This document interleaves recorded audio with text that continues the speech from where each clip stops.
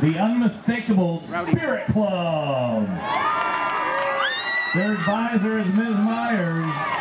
President is Karen Landavazo. Vice President is Paris Tate.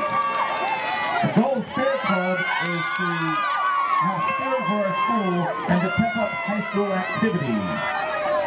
Ladies and gentlemen, the Spirit Club. Remember, they will have spirit palms, dead palms, and breast cancer support palms on sale throughout.